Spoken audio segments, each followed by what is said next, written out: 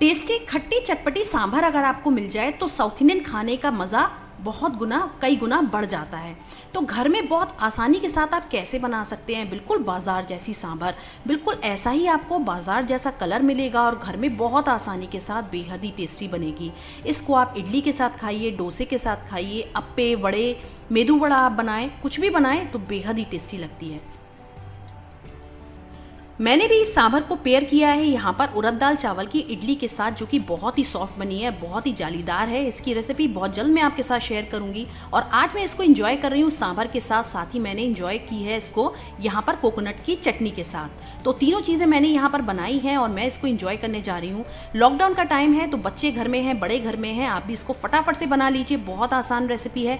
कैसे बनाना है? आइए रेसिपी फटाफट से शुरू करते हैं। तो बढ़िया सांभर बनाने के लिए हम लेंगे कुकर। जी हाँ फ्रेंड्स कुकर में बनाएँगे, झटपट से बनेगी टेस्टी बनेगी। यहाँ पर आधा कप के करीब हमने ली है तुअर की दाल, यानी कि अरहर की दाल हमें लेना है इसको अच्छे से दो से तीन बार धोकर हम लगभग आधे घंटे के लिए भिगो देंगे और यहाँ पर हमारी भीगी हुई दाल है, इसको हम कुकर में डाल देंगे। अब इसमें कटी हुई सब्ज़ियाँ डालेंगे तो कटी हुई सब्जियों में आपको डालना है सबसे पहले यहाँ पर बैगन। जी हाँ फ्रेंड्स, वैसे तो आप अपनी मर्ज़ी की कोई भी सब्ज़ी इसमें डाल सकते हैं। मैंने यहाँ पर बैगन लिए हैं लगभग 100 ग्राम के करीब। छिलके के बाद, छिलके हटाने के बाद में कटे हुए बैगन है। यहाँ पर कद्दू लिया है, सौ ग्राम के करीब कद्दू है, उसको भी मैंने छिलका हटा कर लिया है। एक गाजर ली थी, उसको भी छील लिया और इस तरह से गोल गोल काट लिया। आप चाहें तो छोटा छोटा भी काट सकते हैं। एक प्याज को भी बारीक काट कर डाल दिया। प्याज डालना बिल्कुल ऑप्शनल है, पर इससे टेस्ट बहुत अच्छा आएगा। एक टमाटर भी बारीक काट कर डाल देंगे। साथ ही हम इसमें ऐड करेंगे पानी। तो दो से तीन ग्लास पानी डाल दीजिए। नमक डालेंगे। दो चम्मच के करीब नमक डाल रही हूँ मैं। साथ ही एक चम्मच हल्दी डालेंगे और सारी चीज़ों को एक बार अच्छे से मिक्स कर लेंगे। इसके बाद में कुकर का ढक्कन हम लगाएँगे और सब्जियों को पका लेंगे। तो सबसे पहले नमक हल्दी डालकर सब्जियों में मिक्स कर लेते हैं। तो पानी अभी इसमें मुझे कम लग रहा है तो मैं थोड़ा सा पानी इसमें और बढ़ा दूँगी। तो लगभग दो ग्लास के करीब पानी मैंने और डाल दिया।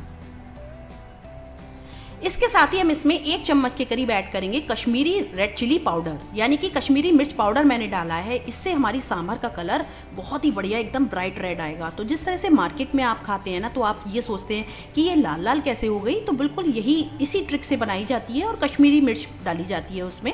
बहुत ज़्यादा तीखी भी नहीं बनती है और बहुत लाल लाल बनती है। तो मीडियम हाई फ्लेम पर तीन से चार सीटी ले ली मैंने। कुकर ठंडा हो गया कुकर को खोल दिया। अब देखिए, यहाँ पर हमारी सब्ज़ियाँ भी बॉईल हो चुकी हैं, दाल भी बॉईल हो चुकी है तो दोनों चीज़ों को हमने एक साथ बॉईल कर लिया। तो अब इसमें हम यहाँ पर टेमरिन पल्प डालेंगे। तो हमने यहाँ पर दो नींबू के साइज़ की इमली को लिया, उसको अच्छे से धोकर हमने लगभग आधे घंटे के लिए पानी में, गर्म पानी में भिगो दिया। उसका हमने अच्छे से पल्प निकाला, यानी कि गूदा निकाला, और वो हमने इसमें डाल दिया। अब इसमें दो से तीन चम्मच के करीब हम ऐड करेंगे। घर का बना हुआ सांभर मसाला। आप मार्केट का सांभर मसाला भी यूज़ कर सकते हैं, किसी भी ब्रांड का ले सकते हैं।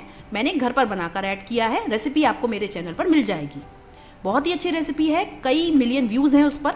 आप जाकर ज़रूर देखें, आपको बेहद पसंद आएगी। अच्छे से मसाले को भी मिक्स कर लीजिए।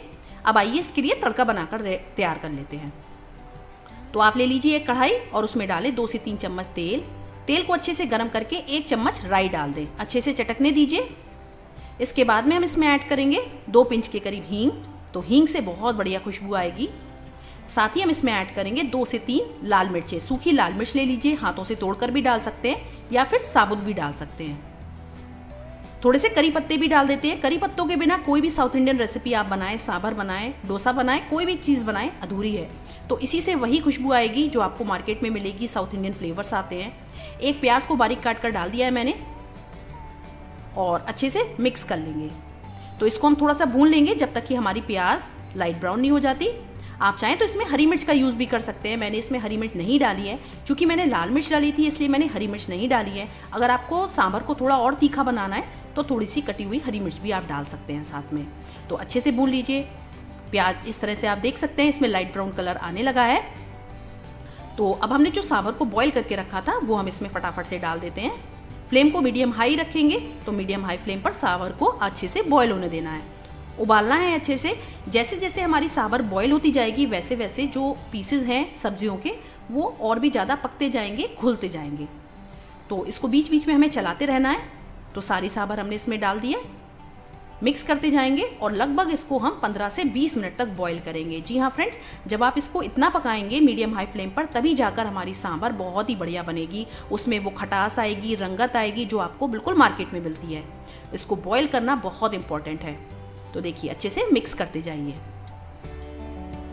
अगर आपको सब्जियों के चंक्स पसंद नहीं है तो आप इसको थोड़ा सा पोटैटो मैशर से इस तरह से मैश भी कर सकते हैं। तो इस तरह से क्या होगा?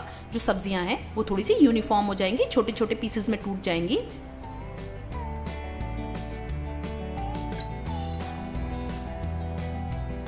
तो अब आप देख सकते हैं सब्ज़ियाँ सारी की सारी बारीक हो चुकी हैं और हमारी बहुत ही बढ़िया सांभर बन रही है। इसको हम बहुत अच्छे से बॉईल करेंगे जब तक कि हमारी जो सांभर है थ्री फोर्थ क्वांटिटी में रिड्यूस नहीं हो जाती। तो आप देख सकते हैं काफ़ी गाढ़ी हो चुकी है सांभर और किसी भी पॉइंट पर अगर आपको लगे कि आपकी जो सांभर है गाढ़ी है, काफ़ी ज़्यादा गाढ़ी है तो आप इसमें गर्म पानी डाल सकते हैं।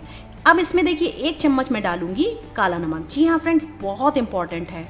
इसी से बहुत अच्छी एक टेस्ट आएगा, बहुत अच्छा कलर भी आएगा और बहुत अच्छा एक पंच मिलेगा, एक किक मिलेगी हमारी सांभर को और जो आप मार्केट में खाते हैं ना, वो बिल्कुल भूल जाएँगे। तो एक बार मेरे कहने से आप ये काला नमक एक चम्मच के करीब डालकर ज़रूर देखें। शुरुआत में आप थोड़ा सा नमक कम रखें और बाद में काला नमक डालने की गुंजाइश ज़रूर रखें। थोड़ा सा कटा हुआ फ्रेश हरा धनिया भी डाल देंगे और मिला लेंगे। सांभर को बढ़िया से बॉयल होने दीजिए। तो टोटल इसको 20 मिनट करीब करीब हमें बॉईल करना है। तो इस बात का आपको ध्यान देना है। तो देखिए, एक बार टेस्ट करके आप देख सकते हैं, यानी कि सफ़ेद नमक और काला नमक दोनों को कॉम्बिनेशन में ऐड कीजिए। तो सांभर हमारी ऑलमोस्ट बनकर तैयार हो चुकी है। देखिए सांभर का कलर आप देख सकते हैं बॉयल होने के बाद। फाइनली हमारी सांभर बनकर बिल्कुल तैयार है। बहुत बढ़िया कलर आया है इसका। अगर आप इसको इडली के साथ खाएँगे ना सांभर के साथ खाएँगे, तब आप मेरा नाम लेंगे। बिल्कुल इसी तरह से बनाकर ज़रूर देखिएगा। एक बात और फ्रेंड्स बहुत सारे लोग इसमें थोड़ा सा गुड़ भी डालते हैं। तो अगर आपको थोड़ा सा खटास को बैलेंस करने के लिए गुड़ पसंद है तो आप गुड़ भी डाल सकते हैं। तो गुड़ पहले डालें और उसके बाद में बॉईल करें। यानी कि जब आपने काला नमक डाला था, उसी पॉइंट पर आप इसमें थोड़ा सा गुड़ भी डाल सकते हैं। एक छोटा टुकड़ा गुड़ का डाल दीजिए।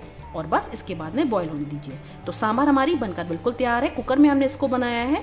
तो अब आप देखिए, सांभर का कलर कितना बढ़िया आया है। बिल्कुल मार्केट जैसा आया है। आप इसको बनाकर देखिए अपने घर में और बनाने के बाद में फीडबैक ज़रूर शेयर कीजिएगा। और आप इसको तीन से चार दिन तक ठंडा करके फ्रिज में रख के इडली, डोसा, सांभर, उत्पम बड़ा किसी के साथ भी इंजॉय कर सकते हैं। दाल चावल की इडली की रेसिपी आप मेरे चैनल पर देख लीजिए। कोकोनट की चटनी अगर आपको चाहिए तो उसकी रेसिपी भी आपको मेरे चैनल पर मिल जाएगी। तो फ़िलहाल तो इन्जॉय कीजिए मेरी ये रेसिपी कैसी लगी रेसिपी लिखकर ज़रूर बताएँ। बनाने के बाद में फीडबैक ज़रूर शेयर करें। Thank you so much